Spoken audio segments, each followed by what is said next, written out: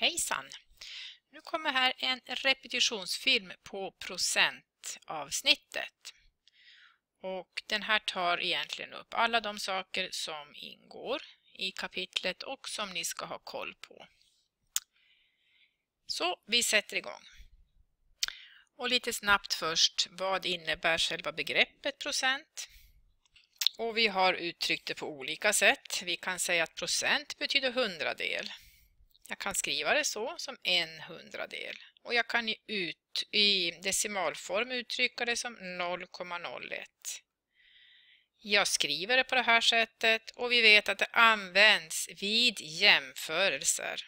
Jag använder det för att ange hur stor andelen utav någonting är. Vi har pratat om tre olika typer av problem, tre basproblem.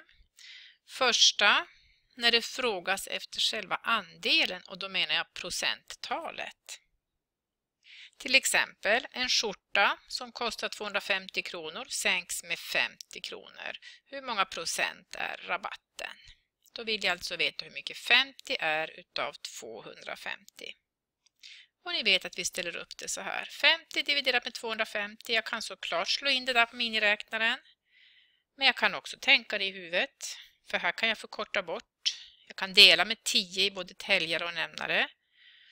Och tänka att 5 delat med 25 sen. Ja, då kan jag dela faktiskt ytterligare med 5 och få en etta i täljaren och en femma i nämnaren. Och en femtedel, ja vi tänker 100% delat med 5 det är ju 20. Ja, en femtedel är 0,2 vilket är 20 procent. Enkelt slår jag in det på miniräknaren men som sagt jag kan tänka ut i huvudet också. Och att bestämma procenttalet brukar vi allmänt säga att det är ju att ta delen och dividera med det hela. Ett annat exempel på när vi ska räkna ut procenttalet är det här. Anna jobbar heltid, det vill säga 40 timmar per vecka. Men en vecka jobbar hon 50 timmar. Hur många procent av heltid jobbar hon då? Det här är ju lite knepigt för vi inser att hon jobbar ju mer än heltid här. Och då vet vi att om heltid är 100 procent så kommer det här att bli mer än 100 procent. Men jag jämför alltså med det gamla. Det är det normala. Hon skulle jobba 40 timmar, det är 100 procent. Jag jämför ju alltid med det som är 100 procent. Därför får vi då ställa upp det här som 50 dividerat med 40. Räknar jag ut det där så får jag 1,25 och det tolkar jag ju som 125 procent. Så den veckan när hon jobbar 50 timmar så jobbar hon 125 procent. Och då skulle man kunna säga att hon jobbar faktiskt 25 procents övertid. Då kommer vi till nästa typ. I den första frågades det efter procenttalet, här frågas det efter själva delen. Vi tar exempel. Av Kirunas befolkning insjuknade 2% i en influensaepidemi. Hur många personer motsvarade det? Ni vet att då ska vi alltså ta 2% av Kirunas befolkning som lär vara cirka 22 000. Så 0,02 gånger 22 000. 22 av betyder 2% gånger. Jag räknar ut det och det blir 440 personer. Och den tredje typen innebär att det frågas efter det hela. Det vill säga det frågas efter de 100 procenten. Vi tar ett exempel. I en klass var endast 15 procent pojkar, vilket motsvarade 6 personer. Hur många elever fanns det i klassen? Och då tänker jag i de här stegen. 15 procent motsvarar 6 personer. Jag är ute efter 100 procent. Om 15 procent är 6 så får jag alltså 1 procent. Genom att dividera 6 med 15, det gör jag på miniräknaren och får 0,4. Nu är det enkelt att bestämma hur mycket 100 procent är. För det är ju helt enkelt 100 gånger 0,4. Och svaret blir 40. Det finns alltså 40 personer i den här klassen. Det var en jätteklass det. Här hade jag också kunnat ställa frågan hur många procent är flickor? Och det inser vi ju enkelt. Om 15 procent är pojkar så är ju 85 procent flickor. Men nu var det inte det det frågades efter. Vi har också berört ett annat begrepp som är närbesläktat med procent, nämligen promille som skrivs så här. Och vi kommer ihåg att om procent nu betyder hundradel så betyder promille tusendel. Och istället för 0,01 så blir det 0,001. Jag räknar med det på precis samma sätt men kommer ihåg att omskrivningen mellan promille och decimalform innebär tre decimalers förflyttning. Vi har inte berört det här men jag nämner det bara hastigt nu att det finns ett ännu mindre sånt här jämförelsebegrepp som nämligen är miljondel. Det skrivs ett ppm parts per million, det betyder alltså miljondel. Och det har istället sex decimaler, men det bryr vi oss inte om att räkna med. Men det kan ju vara bra att känna till att ppm betyder miljondel. Men vi tittar på ett exempel som handlar om promille. En bilist som stoppas för fortkörning visar sig ha för mycket alkohol i blodet. Vilken är hans promillehalt? Om det finns 5,825 milliliter alkohol i blodet. Och vi räknar med att han har 5 liter blod i kroppen. En viktig sak att göra just det här fallet först är ju att, för där står det milliliter och där står det liter, jag måste ha samma enhet. Då tänker jag, vad blir det där i liter? Milliliter betyder tusendels liter. Och för att göra om till liter så måste jag flytta decimalen tre steg åt vänster. En, två, tre. Och fylla på med nollor.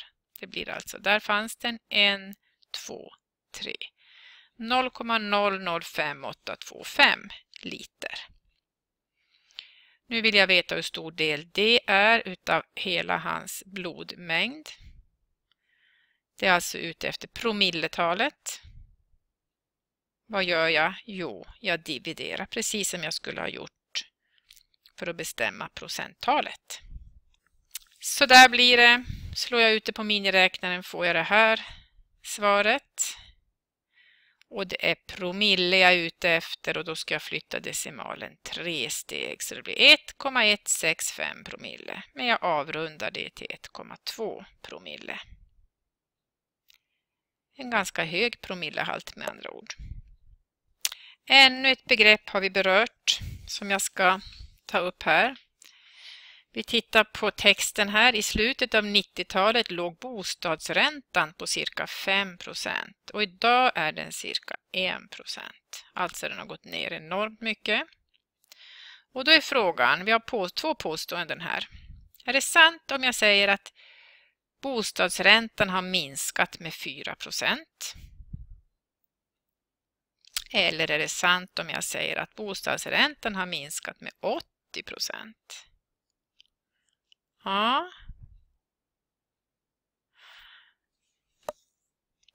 Det är det andra påståendet som är sant. Det är ju visserligen så att det här siffran 5 procent har ju sjunkit till 1 procent.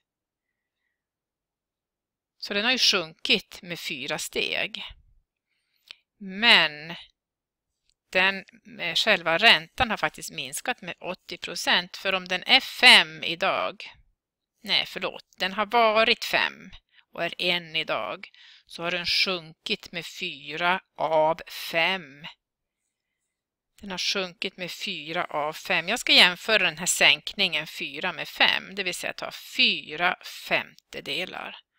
Tar jag 4 delat med 5 så får jag 0,8 och det är 80 procent. Den har sjunkit jättemycket med andra ord. Men om jag formulerar om det här första påståendet så blir det sant. Jag kan nämligen säga att räntan har minskat med 4 procentenheter. Det kallar man det för när jag menar att själva räntefaktorn här har minskat med fyra steg. 4 procentenheter. Det innebär att räntan har minskat med 80 procent i det här fallet. Alltså innebär att procentenheter, det talar om hur många enheter procenttalet har ändrats. Och den sista delen av kapitlet den har handlat om något som vi kallar för förändringsfaktor.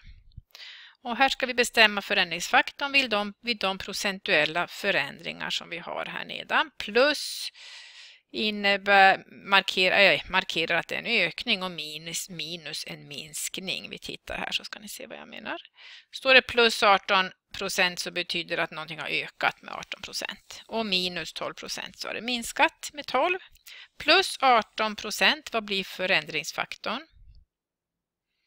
Jo, då tänker vi att ökar det med 18 procent så är det nya värdet 118 procent av det gamla. Alltså 1 1,18 är förändringsfaktorn.